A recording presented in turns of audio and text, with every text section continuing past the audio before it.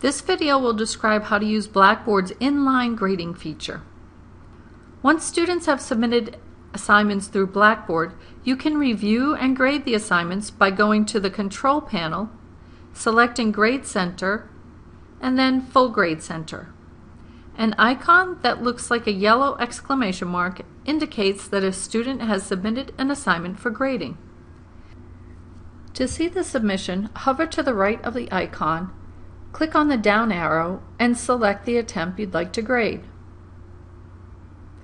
In the center of the new screen, you'll see the student's document.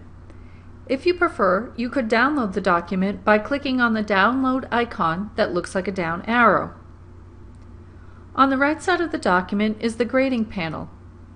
To make it easier to review the student work right here on the screen, you can click on the arrow that collapses and expands the grading panel. Another way to make the document window bigger is to click on the four arrows to maximize the view of the document. Click on it again to restore the view. To see the assignment instructions again, click on Assignment Instructions to view or hide the assignment instructions.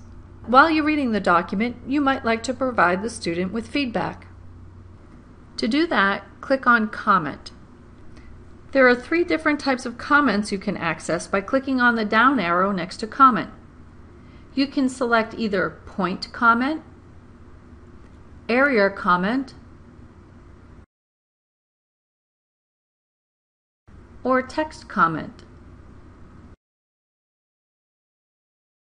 To delete any of your comments, click on the comment bubble, hover to the lower right hand corner and select delete.